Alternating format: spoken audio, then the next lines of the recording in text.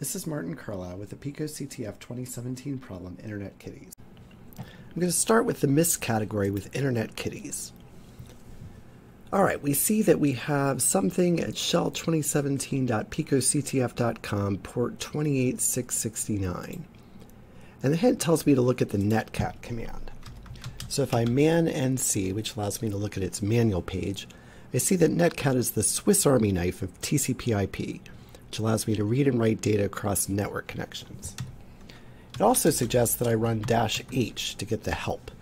This says that I should netcat to a particular host at a port number.